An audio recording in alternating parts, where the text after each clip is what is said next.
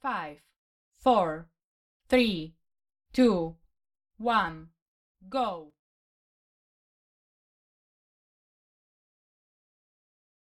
오늘의 주신 하나님의 말씀을 봅니다. 오늘 주신 하나님의 말씀은 히브리서 12장 2절에 있는 말씀. 히브리서 12장 2절에 있는 말씀. 모니터에 크게 나와 있어서 어디서도 보일 겁니다. 제가 천천히 해보합니다. 믿음의 주요 또 온전하게 하시는 이인 예수를 바라보자. 그는 그 앞에 있는 기쁨을 위하여 십자가를 참으사 어, 부끄러움을 개의치 아니하시더니 하나님 보좌 우편에 앉으셨느니라. 아멘. 자 오늘의 이 말씀의 주제는 주님을 바라보자. 주님. 우리 목사님들 세계에서도요 어, 설교를 딱 하시는 목사님이 예수 잘 믿읍시다. 그래요. 주님을 바, 바라봅시다. 그래요.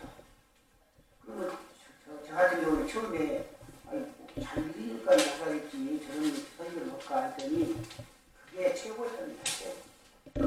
말씀을 했어요. 믿읍시다. 또 예수님 바라봅시다. 이게 더 귀한 것이 어디 있어요?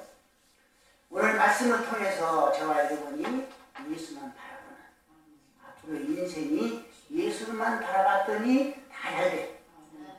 모든 소원이 이루어져. 이런 역사가 있기를 주의 이름으로 축복합니다. 사랑하는 성도 여러분들에게 우리 주님의 평강이, 은혜가 가정에, 우리의 심령에 함께하기를 주의 이름으로 축복합니다. 예 속담에 이런 말이 있어요. 가다 가다가 가면 아니 가면 가다가 아니 가면 아니 가면 또 못하니라. 가다가 아니 가면 안 가는 것만 또 못하라. 그런 말이 있습니다. 우리는 지금 다 경주를 하고 있어요. 경주. 달려가고 있습니다. 어디로 어디까지 달려갑니까? 천국까지. 천국까지는 달려가고 있는데요. 이 믿음의 경주를 출발한다면 아무리 멀어도 가야 되고 아무리 지쳐도 가야 됩니다. 아무리 힘들더라도 설령 도중에 넘어지고 쓰러지더라도 포기하지 말고 일어나 뛰어 걸어가야 됩니다. 그래야만 목표에 다 도달하게 되고 상을 받는 거죠. 달리기 선수가 중간에 가다가 고민스러운 일이 있어가지고 안 가면 되겠어요? 안 가면 자기만 상 못 받죠. 오늘 우리가 읽은 말씀은 로마 황제의 극심한 핍박과 고난 가운데 있는 교회에게 격려해주고 위로해주는 말씀인데요. 이 교회에 속한 사람들은요, 성도들은 박해가 너무 심했어요. 그러니까 처음에는 좀 견디고 이겼는데 박해가 점점점 어려운, 어려웠고 심하니까 중도에 낙심하고 낙담하고 또 포기한 사람들도 있어요. 그래서 오늘의 말씀은 그들에게 예수님처럼 고난을 참고 견딤으로써 믿음의 경주를 끝까지 잘 마치기를 권하고 있습니다. 그들뿐만 아니라 저와 여러분에게도 어떤 어려움이 있어도 달려라. 달려라. 끝까지 달려라. 중도에 포기하지 말라. 여러분은 중도에 포기하지 말라고 하니까 목사님, 우리가 지금 다 집사님이고 권사님이고 성부님인데 그리고 쓸데없는 말을 해요. 일어나지 모르지만요. 우리 교회 안에도 권사가 안 나온 사람이 있어요. 아주 포기해버렸습니다. 우리도 언제쯤 안 될, 어, 안 들을지 몰라, 이거는. 사단하고, 사단하고 싸우고 있으니까. 그래서 저는요, 노인들을 보면, 평소에 노인들을 보면요, 존경을 했어요. 왜 존경을 하냐? 나도 저 나이 때까지 집사가 할까? 예수님을 믿을까? 중도에 포기하지 않을까? 이것 때문에 노인들을 존경했습니다. 우리 교회 말, 말할 것 같으면 남산타 장로님이 91살이에요. 여러분, 나가 91살 때까지 저 장로를 믿음 가지고 있을까? 이게 복. 그러면 첫째로 무거운 짐, 것을 벗어버리지 않기 때문에 중도에 포기했는데요. 오늘의 말씀은 믿음의 경주를 하던 초대교회 성도들에게 무거운 짐을 벗어버릴 것을 고민하고 있거든요. 자, 운동선수가 시합을 할 때 특히 달리기 선수, 특히 달리기 선수는요, 큰 닷돌짜리 차고 가면 들었어요? 지금 42km 달려가야 되는데. 또 시계, 무거운 시계를 차고 가면 되겠어요? 아니, 팔찌, 저는 달리기 안 하고 열심히 쳤는데, 팔찌를 무거운 것, 열도 스물은, 서른도짜리 차고 차면 되겠어요? 다 벗어버려야 돼요. 다 벗어. 저 팔찌가 필요 없는 시리 팔찌잖아요. 그런 거 처음 해. 목걸이도 실, 실 목걸이 있잖아요. 응. 무거운 것은 다 아깝지만 벗어나야 됩니다. 다 벗어나야 돼요. 아무리 값지고 귀한 물건이라고 하더라도 경주를 하려는 한 사람은 무게가 나가는 것들을 다 벗어버려요. 만약 그렇지 않는다면 견딜 수 없어요. 오늘날 믿음의 경주에서 중도에 타락하는 사람들을 살펴보면요. 되게 몸을, 몸과 마음, 마음을 무겁게 하였음을 알 수 있어요. 우리에게 무거운 짐된 것은 무엇입니까? 지나친 욕심, 탐심. 이게 무거운 짐이에요. 욕심에 끌려가는 삶을 경계해야 하는 거죠. 또 성경이 경계하는 욕심은 되게 단순한 욕심이라기보다는요, 자기 중심 욕심. 저는요, 이 세상에서 상당히 못났다고 생각하는 사람은 자기가 잘났다고 생각하면 못났다고 생각하거든요. 요즘 세상에 얼마나 잘 훌륭하고 잘 머리 굴리고 사람들이 많이 있는데 그중에 자기가 잘났다고 하면 되겠어요. 그 여러분들 실수하면 내가 못났다 그런 생각해야 돼요. 그 생각하면 실수 안 해요. 그리고 성경은 이를 탐심이라고 말하고 탐심은 경계하라고 말하고 있어요. 모든 탐심을 물리치라 사람이 생명이 그 소유에 넉넉하는 데 있지 아니하니 누가복음 12장 15절에 그렇게 말하고 있어요. 그리고 적당한 낙을 누릴 수 있는 적당한 재물이 있다면 저 여러분은 지금 살기는 세상이라 다 풍성하게 살아요. 여기서 풍성하지 않은 분이 누가 있어요? 다 풍성하게 삽니다. 옛날에 사는 것도 비교 없는 다 풍성해요. 그러면 여기서는 만족해야 된다. 만족. 그리고 남은 시간과 정력을 재물을 믿음의 경주에 쏟아부어야 한다. 우리가 이제 학교를 가고 있어요. 직장을. 어딜 가고 있어요? 우리 장변선 권사님이 직장에 가니까 빼놓고 누가 직장 가니까 우리는 하늘의 보물을 쌓아야 돼요. 그 다음에 두 번째는요. 두 번째는 사람들이 믿음의 경주에서 떨어져가는 이유를 은매이 쉬운 죄를 벗어버리지 않으니까. 그러니까 떨어져요. 오늘의 말씀을 말씀은 무거운 것을 버려보실 뿐만 아니라 은매에게 쉬운 죄도 벗어버리라는 거예요. 달리기 선수가 손과 발에 무거운 쇠고랑을 차고 있으면 1등 할 수 있어요? 상 받을 수가 있습니까? 오늘날 성도가 믿음의 경주를 하지 못하, 못하도록 발목을 붙잡고 있는 것이 있다면 경주할 수가 없어요. 여기서 죄를 일일이 설명할 시간은 없습니다는 죄가 무겁고 무서운 것은 심판이 있기 때문에 왜 죄가 무서워요? 왜 죄가 그렇게 무겁습니까? 심판이 있기 때문에 심판이 없겠다 없으면 마음놓고 죄짓다가 가죠. 만약 하나님이 우리의 잘못을 일일이 심판한다면요 살아있을 자가 없어요. 여기서 저와 여러분만 여러분뿐만 아니라 세계적으로 어떤 나라가 됐든 가 세계적으로 예, 하나님이 일일이 심판한다. 그럼 살아있을 자가 있어요? 그 예수님 믿었지. 그 양반은 예수님 믿었죠. 우리의 죄를, 우리의 사는 생각, 우리 사는 모습을 하나님이 기억하시고 계신다면 우리는 살아있을 수가 없습니다. 죄가 무겁고 무섭지만은 죄 못지않게 무겁고 무서운 것은 죄책감과 좌절이에요. 그러면 우리가 죄, 과거 죄를 졌다. 죄 때문에 난 이런 죄를 묻어봤어요. 묻어봤어요. 이러면 되겠어요?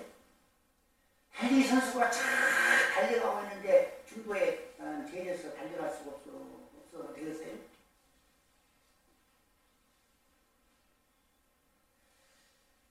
잘못에 대한 죄책감이 계속 되어 있다는 것은요, 안 됩니다. 지나간 상처와 분노에서 그 자유롭지 못하면 앞을 향해 달려갈 수가 없어요. 그러므로 저와 여러분은 이제 죄가 없다. 죄가 없다. 나는 죄가 있습니다. 그러면은 안 됩니다. 나는 죄가 없다. 왜? 하나님이 이미 용서해 줬어요. 하나님. 이미 용서해 줬어요. 그러면 하나님이 홍길동 권사님을 용서해 줬는데 내가 용서 안 해. 그러면 생각해 보세요. 하나님보다 더 높은 사람이요. 아니, 하나님이 용서해 줬는데 홍길동 집사님을 권사님을 하나님이 용서해 줬잖아요. 근데 장로님, 권사님, 목사님이 용서 안 해줘? 그건 안 되는 거예요. 그럼 용서 안 주면 그것이 아무렇지도 않느냐? 죄요, 죄. 어떻게 보이는 사람을 섬기지 못하고 사랑하지 못하는데 보이지 않는 하나님을 사랑한다고? 그 성경은 거짓말이라 그러잖아요. 성경은 거짓말이라. 하나님이 용서하신 사람은 용서하지 않을 것은 죄다, 죄다. 그러니까 저와 여러분이 다 용서해 주세요. 다 용서해 주세요. 용서. 용서하면요, 기적이 나잖아요. 나는 오늘 어, 나이스타임 생각하면서 이거 꿈이냐 생시냐 했어요. 어떻게 그, 그 나- 나이스타님이 이름을 짓다죠? 제가 이렇게 말하면 이해가 안 가. 무엇이다 드릴 지금. 기적이라 그랬어, 기적. 왜 그러냐? 이 장례성 원사님이 참고 사랑해주고 용서해주고 또 한민아 원사님이 참고 용서해주고 사랑해주고 그러니까 이것이 이런 기적이 나오는 거죠. 그 하나님이 홍길동 권사님을 사랑해, 사랑하시고 용서해 주는데 나하고 사랑하는 하는 용서하십니다. 그 죄다. 그 죄다. 그러니 그 다음에 이제 세 번째는요. 사람들이 믿음의 경주에서 떨어져 나가는 이유는 인내심이 부족하기 때문이다. 오늘의 말씀은 인내로서 우리 앞에 당한 경주를 경주하라 이렇게 권하고 있어요. 마라톤 같은 장거리 뭐약 잡고 42점 몇몇 킬로예요. 근데 우리는 그좀 빼버리고 42km입니다. 그러니까 2시간 세계 신기록이 2시간 6분이라고 해요. 2시간 6분을 안에 감사가 없어요 지금. 자, 2시간 이상을 쉬지 않고 뛰는 것은 보통 사람으로는 할 수 없습니다. 42km면 영광 갔다 오기만 하지 않아요. 여기서 여기서 영광 갔다 오기. 그거를 달리 달려야 되니까요. 마라톤 경기는 오르막길도 있고 내리막길도 있고 그 얼마나 숨이 찬 고비가 또 있어요. 42km 중에 가야 되는데 28에서 32km까지 정도 가면은 누구나 포기하고 싶답니다. 가슴이 터진다고 주저앉고 싶고 아예 죽어보고 싶고 그냥 얼마나 얼마나 못했니 아니 이 심장이 멈춰 갖고 땅에 엎드려 버릴 것 같고 그냥 그러시면 그냥 얼마나 좋을까 이 생각이 28km에서 32km 달려갈 때 그 생각이 든답니다. 그러면 여기에서 인내하지 않고 주저하지 않으면 상못 받죠. 그런데 그래도 달려가면은 33km 좀 벗어나니까 또 세비, 세 힘이 솟는데요. 그 셈이 솟는 것 가지고 41골까지 달려가는 거예요. 바로 이럴 때가 중도에 포기하고 싶은 유혹이 얼마나 밀려오는지 몰라요. 이 골만 지나면 되는 건데. 그래서 마라톤 경기를 어, 운동, 운동할 때 꽃이라 하잖아요. 마라톤을 꽃이라. 그래서 다른 것은 금메달만 따면 되고 은메달만 따면 되고 동메달만 따면 되지만은 마라톤은 어때요? 금메달도 따고 또 무엇도 따요? 월계관 쓰잖아요. 머리에다가 월계관 쓰잖아요. 그래서 운동의 꽃이다 그런 거예요. 우리가 때때로 성공하는 사람들의 이야기를 들어보면요. 성공의 비결은 남다른 재주가 있어서 특별한 능력이 있어서가 아니고 어려운 고비를 이런 기적과 이적, 이적이 있다는 거예요. 성공한다는 거예요. 그다음 네 번째는요. 이 사람들이 믿음의 경주에서 떨어져 나가는 가장 중요한 이유는요. 목표를 잃고 있다. 자, 목표를 잃었는데 이 경기장의 꽃이라고 말하는 말하는 마라톤은요. 마라톤은 꽃처럼 아름답고 귀하고 영광스럽다는 말이거든요. 사랑하는 성도 여러분, 믿음의 경주, 경기의 목표는 무엇입니까? 우리가? 물론은 하나님 나라예요. 하나님 앞에 상급받는 겁니다. 우리가 아무렇게도 믿음을 천국 가지고 그걸 예수님이 우리를 구원해 주신 그 사실을 믿으면 천국 가잖아요. 그 상급 못 받잖아요. 또 우리가 더 앞장서서 하려고 노력하고 있는 것은 상 받으려고 해요. 저도요, 저도, 아이, 며칠 날에 그냥 어디 나갔다 오고, 서로 누가 딴 사람이 식사하고, 오고, 공사님 오고, 방에 돌아다니다가 오고, 오고. 그럼 무슨 상이 있어요? 죽어도 해야지. 목숨이 끊어져도 해야지. 그러니까. 만약 일본 순사가 가지고, 옛날 같으면, 순사 가지고, 너, 너, 너 나와봐. 그럼 제가 나가고 들었어요? 그 무슨 소리 나가, 나가는 거 아니고, 그, 묵묵히 설교해야죠. 이미 죽이려고 나오는데, 뭐 설교해야지. 그런 사람이 상받는다, 이 말이에요. 그런 사람이. 일제 때 신의 참변 목사님들이 있고, 신의 참배하신 목사님, 아- 아는 목사님이 있어요. 근데 신의 참배하는 목사님들은 참 변명이 좋아요. 뭐라고 대답하냐. 아, 지금은 이- 이- 위험 아닐까? 그 천학교한테 저러고 인사하고, 아, 끝나면 안 믿으면 돼. 안 하면 될 거 아니야. 근데, 진짜 삼배를 아는 사람들은 하나님이, 예수님이 나를 지금까지 한 번도 배반하지 않는데, 나는 배반해야. 그까짓 때는 내가 50살 먹- 먹으시면 20, 20년, 30년 살면 죽을 건데, 그까짓 더 산다고 내가 진짜 참배해야. 그 지금까지도 신의 참배하는 목사님들은 우리한테 저, 저 대접을 못 받아요. 아니, 거의 다 죽었지만, 지금도 살아, 살아있는 사람 있잖아요. 대접 못 받습니다. 그러니까 우리는 내가 경주 달려가기 위해서는 목표가 분명히 해야 되고, 하나님 상급이 있다는 것을 사실히 알아야 돼요. 그래서 성경 그러잖아요. 믿음의 주요 또 온전케 하시는 이 예수를 바라보자. 저는 그 앞에 있는 즐거움을 위하여 십자가를 참사 부끄러움을 개의치 아니하시더니 하나님 우편에 앉아 있으니라. 하되 계십니다. 얼마나 예수님이 창피하니까 창피합니까? 그것도 개의치 않았어요. 아픈 것도 참았어요. 그래서 죽었어요. 하나님 우편에 계신다 했어요. 그리고 세계 어느 나라도 어떤 사람도 예수님 앞에가 무릎 꿇어대는 거예요. 이런 이름이 이름을 가지고 있어요. 자, 예수님은 믿음의 모범일 뿐만 아니라 믿음의 목표입니다. 예수님은 무거운 짐과 죄를 벗어버리, 벗- 벗어버리고 경주를 시작하신 분이 분이만이 아니라 인내로 경주를 잘 마친 분이에요. 인내로. 그리하여 믿음의 심판을 받을 받으신 그 예수님이 이 땅에서 심판받잖아요. 쉽게 말하면 벌레한테 못한 것들한테 심판받잖아요.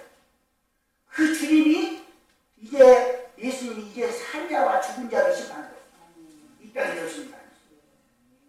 그러므로 우리도 예수님을 분명히 끝까지 바라봄으로써 믿음의 경기에서 승리하리라 주의 이름으로 축원합니다. 기도합시다. 하나님 우리 아버지 은혜와 사랑을 감사합니다. 예수님만을 바라보자 이런 제목으로 말씀을 드렸습니다. 아버지 하나님 경주자가 목표가 뚜렷해듯이 상 받는 것이 분명하게 생각하듯이 우리들의 목표는 예수님이시고 우리들에게 상 주실 분은 우리 예수님이십니다. 끝까지 다 달려갈 수 있도록 달려가는데 어려움이 있을 때가 많습니다. 포기하고 싶을 때도 있습니다. 어려움이 너무 산 넘어 또 산이 있습니다. 그러나 우리는 끝까지 견디면은 천국까지 우리 들어갈 수가 있는 것을 믿습니다. 우리 믿음을 앞으로도 계속해서 지금까지 지내왔는데 앞으로도 계속해서 주님 지켜주시고 보호하여 주실 주뭐 믿습니다. 믿사옵고 예수님의 이름으로 기도하옵나이다. 아멘.